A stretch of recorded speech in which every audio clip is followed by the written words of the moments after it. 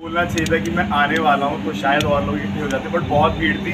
पूरा गोविंदगढ़ जाम हो रखा था और सारे मेरे घर पे आए और सबने एक एक करके फ़ोटो खिंचवाई। मैं सुबह चार बजे सोया हूँ सबके साथ फ़ोटो क्लिक करके।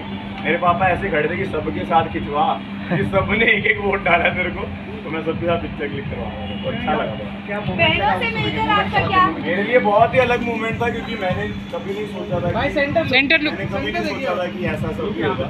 पर हुआ ये और मैं भगवान का बहुत शुक्रगुजार हूँ। जय माता राम। जय श्री राम जय माता दी कि मैं यहाँ तक पहुँचा और मैं आगे मेहनत करता जाऊँगा और आगे बढ़ूँगा अभिषेक बहनों का क्या रिएक्शन था? आपसे हक करके बहुत इमोशनल हो रहे थे वो क्या कहना वो मेरी सिमरन दीदी थी वो मेरी उडारिया में मेरी दीदी प्ले करती थी। तो मैं उनको दीदी ही बोलता हूँ और मेरी माँ जो प्ले करती थी उनको मैं माँ ही बोलता हूँ। तो वो लोग भी आए थे मुझे नहीं पता था वो लोग आ रहे हैं। तो मैंने उनके पैर छुए हक किया वो लोग बहुत प्राउड थे। प्लस मेरी रियल सिस्टर मेरी रियल मॉम वो लोग भी बहुत प्राउड थे तो बहुत अच्छा लग रहा बहुत ही ज़्यादा अच्छा लग रहा अभिषेक भाई पैर वाला स्टाइल है आपका पैर वाला। हाँ जी।